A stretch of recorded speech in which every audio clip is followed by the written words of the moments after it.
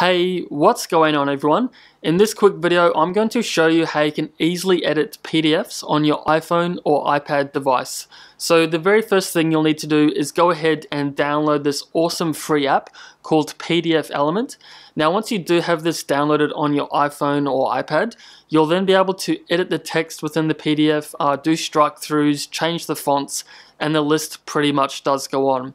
So before we go ahead and open up this app, I'm first going to go to my downloads manager on my iPhone and this is where I've already gone ahead and downloaded a PDF. So I'm just going to go ahead and open this. Now once I'm in here, I just want to go to my downloads and then I'm going to select the PDF that I would like to edit. So I'm going to select this one.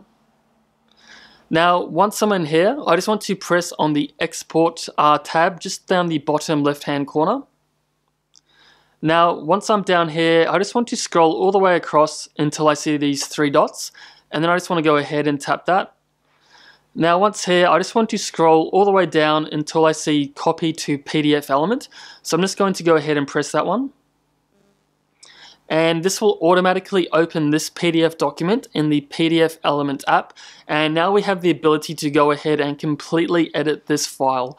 So just say for example I want to scroll down and maybe just change the title of this PDF.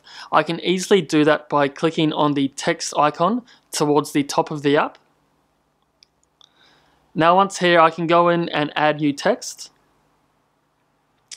and if I want to change the font of say the title or this whole part of the PDF, I can easily do that by pressing and holding. And I can maybe select maybe a certain paragraph or I can go ahead and select all. And this will go ahead and select all the text within this page or within this certain uh, kind of text element. Now once I'm there, I just want to go ahead and press on font. Now in here we have multiple fonts that we can choose and then we also have different colors and sizing as well. So say for example I want to change this to American typewriter, I can easily do that. And then I can also easily change the uh, font size and also the color as well. Now once I'm happy with the changes, I can just go ahead and press done. And as you can see, that instantly changes this text on this particular page. And for some additional features on how you can edit this PDF document, you can go ahead and press on the pencil icon on the top left hand corner. Now once you're in here you have several different options on what you can do to this PDF.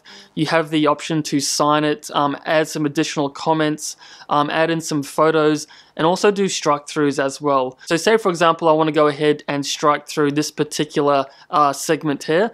I can easily do that by clicking on the strike through element and then I can just go ahead and select all of this text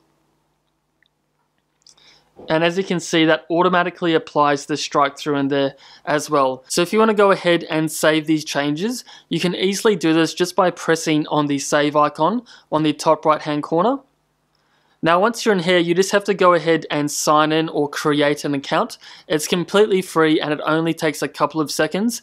And once you go ahead and do that, you can then save the PDF back to the Files app on your iPhone device, or you can go ahead and save the PDF within the actual PDF Element app as well.